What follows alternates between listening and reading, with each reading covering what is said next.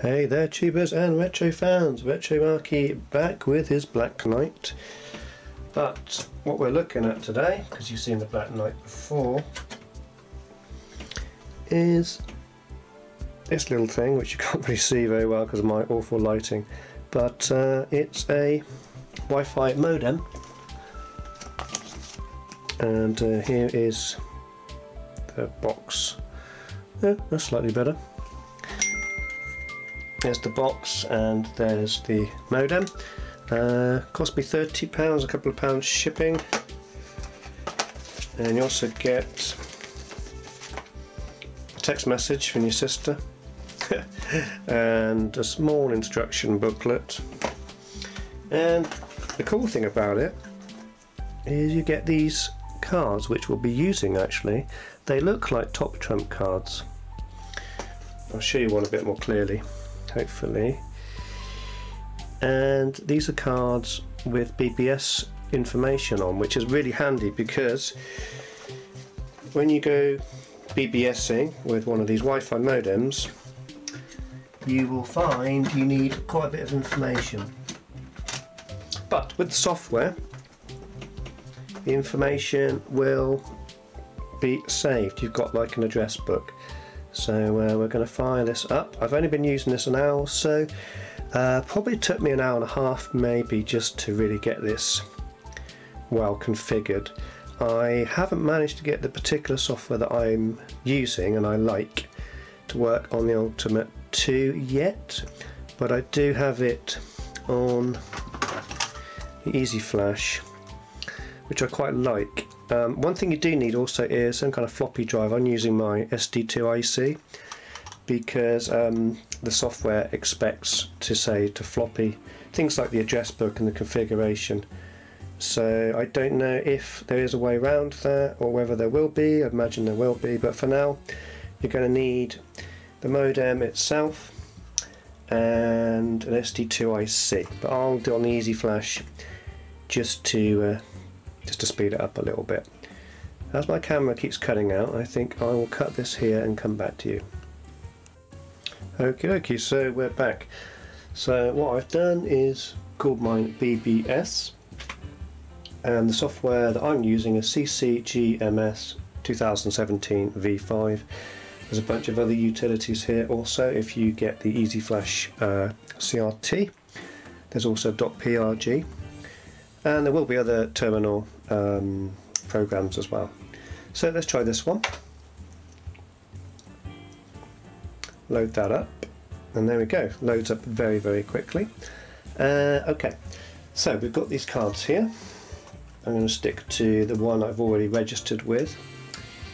Um, so what will happen is when you first do this you'll need to configure your modem by going to ANSI terminal mode then you'll configure it um, in F7 you'll put the baud rate to 300 make sure you've got user port if you're using this particular gadget.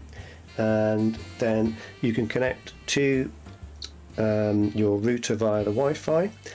Put in all the usual um, security information that you need your password and so forth. And then you save that um, and then you can go back to here put the put the baud rate back to 2400 which seems to be working pretty well for me. And then also start using the graphics terminal. So with all that done any questions obviously uh, feel free to send me a message. With all that done um, let's um, let's connect this bad boy. So oops hit enter so there's my SSID. Now for some reason always does this every time. It's like you knock on the door once but uh, you need to knock again to get an answer. So ACT1 is not the right command.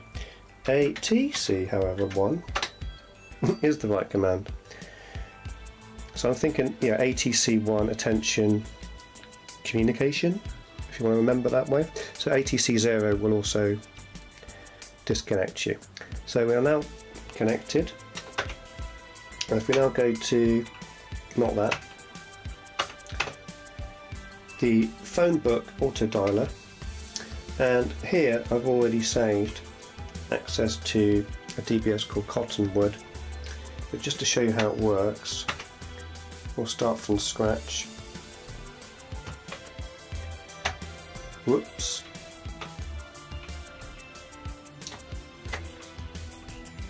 Uh, okay, I need to press D. Dial unlisted. Let's can we quit out of that? Run stop. There we go. So here's the information for the one I'm already registered on. So we press D for unlisted. Um, so IP address, this is where these cards come in very handy, is cotton, wood, bbs.dyn, dns.org. Hit enter, then we need a port number, in this case it's amusing, lead 6502. Right, dial unlisted number, dialing, And there we go, connect. We are connected at 200, sorry, 2400 baud.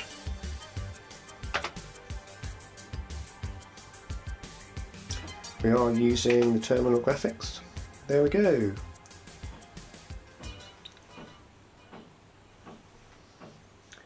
Uh, membership number I need to check. So one thing you will want to do is probably save somewhere this information.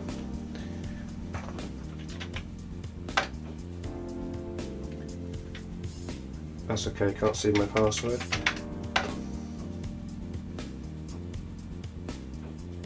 There we go, Retro Marky, access level 4. I absolutely loved this. When I was a kid, when I had an Acorn Electron and a BBC Micro, uh, I always looked at the um, and modems and fantasized about all these worlds you could tap into. And uh, it's yeah, 30 odd years later, but I finally got there. Now, this is absolutely amazing. I'm loving this, it's so much fun.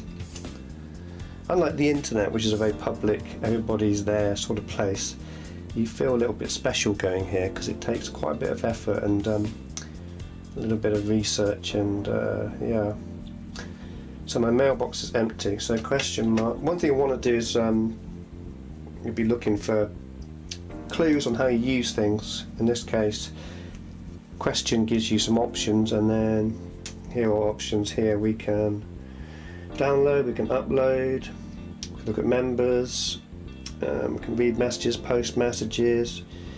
So let's try something like. Is there any messages? No, no new ones for me.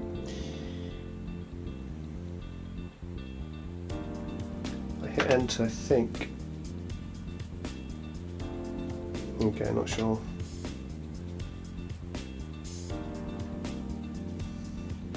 Oh, let's see if there's. Hold on. Um.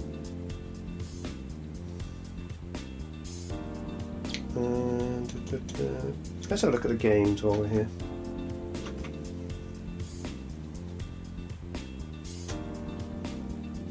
Bunch of games. These are online.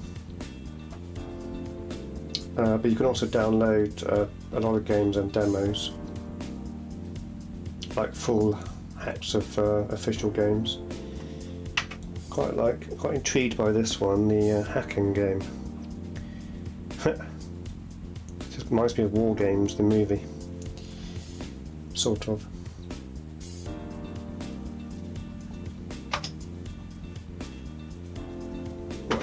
Number one. Oh, I'm in the CIA.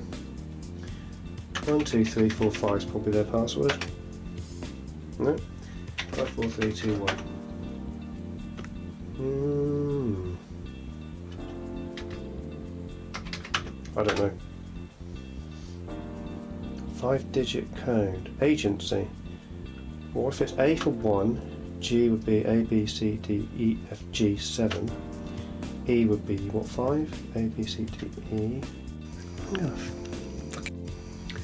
Ah, my camera died. Uh, let's have a look at the members. I wonder if we can see if there's any famous coders or hackers on here. Enter pattern to match. Control S to pause, Control P to... Oh, there we go. Alex 64, uh, number 9.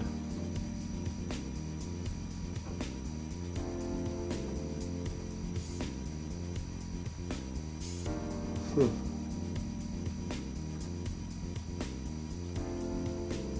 Sixty-four ever.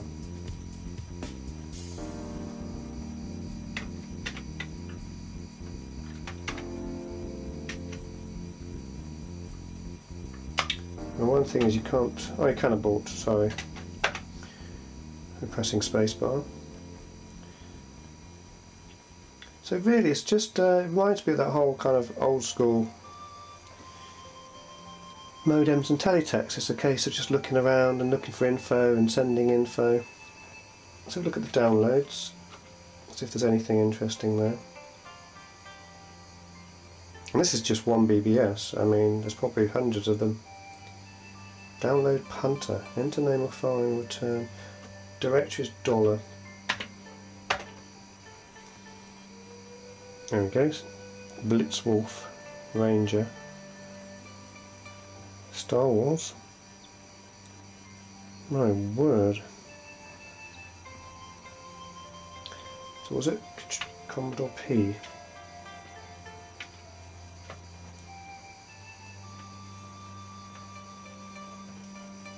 Blimey O'Reilly.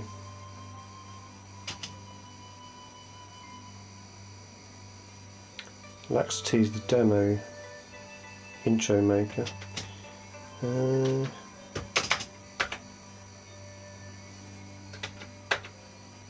okay, doesn't look like I can quit that. So that's pretty much what I wanted to show you anyway. As I said, £30 is extremely good value for something like this, which is you know, a bit of a novelty. I'm not sure I'll be using this all the time, but then again, I'm pretty addicted to it. I've been doing this for about four, four or five hours now, so who knows? But um, the place to get it is Shareware Plus. I'm not sure if it's .com, but you can Google that. And um, as I said, it plugs in the user port of your C64, and you can get the software free quickly and easily by downloading it on your PC. In my case I put it onto the SD card on the SD2IEC and also on the Easy Flash just for uh, that's the quickest uh, quickest way of doing it. But if you don't have an Easy Flash SD2IEC or a real floppy drive if you can be bothered to mess around with that look at all these games. So there we go Retro Marky out. I will see you in the next video. Ciao for now